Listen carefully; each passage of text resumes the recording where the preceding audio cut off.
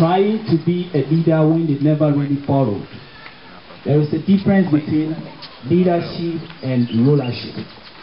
You know, to rule over people is different from being a leader.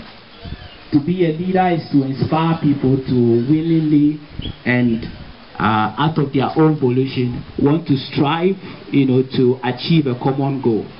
That is quite different from rulership, where you give orders and people follow.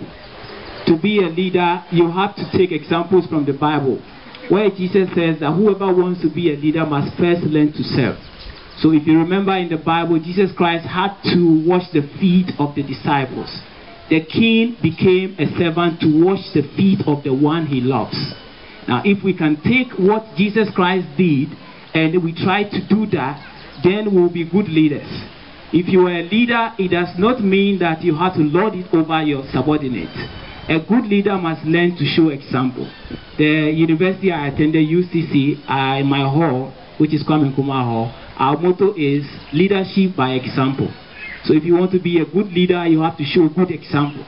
If you are a leader and you don't show good examples, then your leadership is questionable.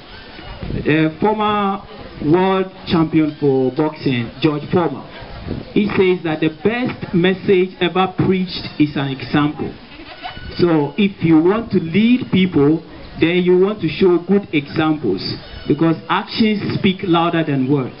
You can say a lot of things, but at the end of the day, what you do is what you be judged by. Now, before I take my seat, I would like to say that we need to show love. If you want to be a good leader, you have to learn to show love as Christ did. Progress is when we all push in the same direction. If I push forward and you push backwards, we cannot make progress.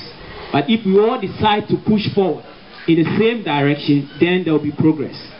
As we have new leaders now, you will have challenges, but together we stand, divided we fall. You may have people trying to put your legs here and there, but I entreat you to always look at the school first. Consider Anyasco first.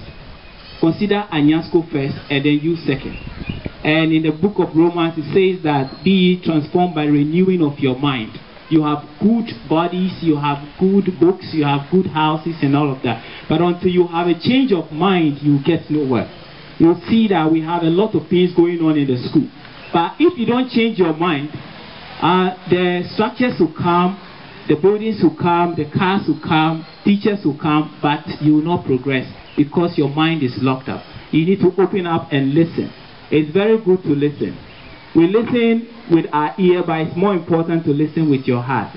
If you do not learn to follow orders, then you're going to have a lot of problems as a leader.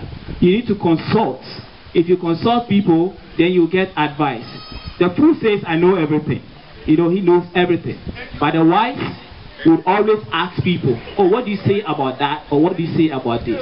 And by the time you move your thoughts from one level to the other, you see that you'll be making progress. If you are not able to move your thoughts from level one, two to three, you think what you know is the best. But what you know is just the tip of an iceberg. What you are doing today, so many people did it before.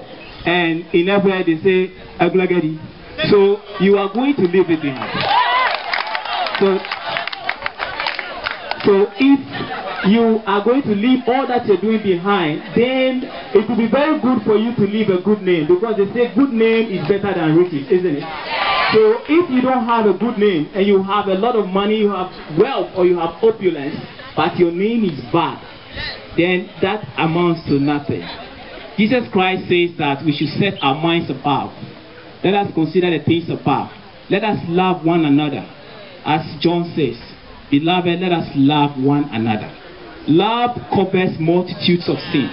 So if you all show love to one another without complaining, the time you spend castigating someone, you can use that time to help someone to come up. Do not look down on anybody unless you are helping them to come up. Now, I pray that the good Lord that surpasses all understanding will give us understanding into these words. That even as we are coming into the leadership, we will learn to be leaders but not rulers. As I said, to be a good leader, you must be a good follower. And you must be a good listener.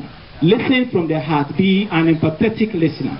Because of time, I like to end here. May the good Lord bless us all. Amen.